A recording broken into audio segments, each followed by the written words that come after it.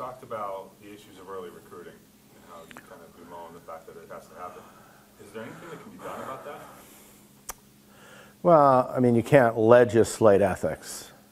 So, you know, no matter what the, what the advantage someone gains from, from possession, uh, it, it really seems to, to, to kind of ring true. I, I don't know how to do it. I'm, I'm concerned because uh, the recruiting of 13 and 14 year old girls and offering them scholarships, although they might be terrific players, really calls a lot of things into question. You know, does the coach have a contract that's extending five years out?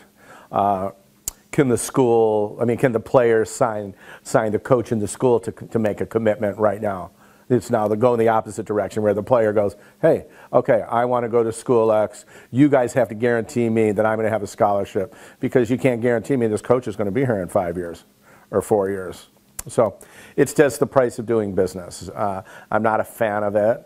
Uh, but I also recognize there's going to be some circumstances where uh, coaches, maybe they're involved in club, have great uh, relationships and access to players and know that they want those players in their program and the kids know that that's the school for them. You know, many years ago, Nebraska, you know, uh, the twins that have had such great careers at Nebraska, you know, they're Nebraska kids and they knew they wanted to go to Nebraska. So, you know, it's a no-brainer that uh, it happens. You know, maybe there's some people that felt it was too early, but, you know, as a, as a coach on the outside, it made perfect sense to me.